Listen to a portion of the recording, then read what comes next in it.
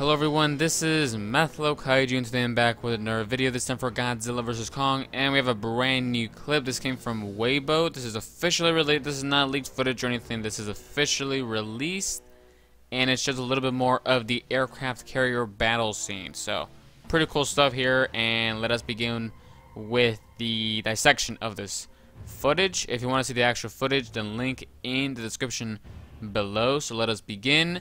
In the background, I do want to mention the music is actually pretty cool. It's very...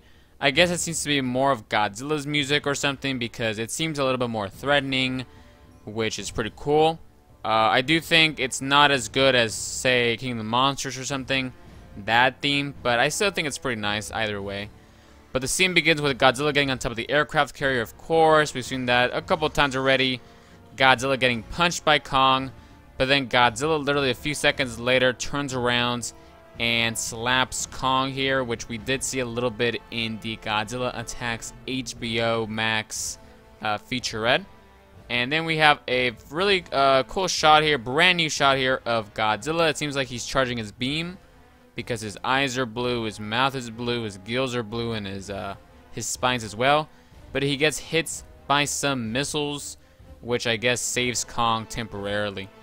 And Godzilla seems a little bit hurt, I guess. Maybe he's just a little shocked that it came out of nowhere. I don't know.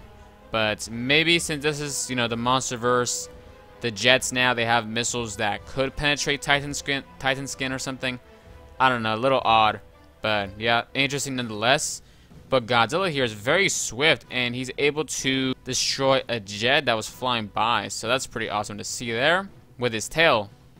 And yeah, pretty cool.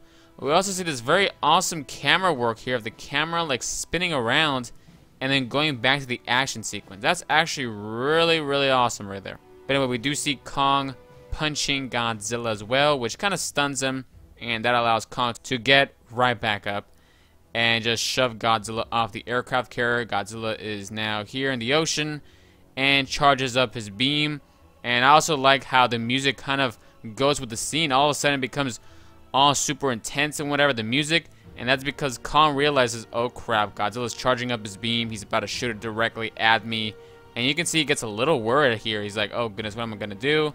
But then I guess he decides to just jump out of the way, which is, I guess, a smart thing to do.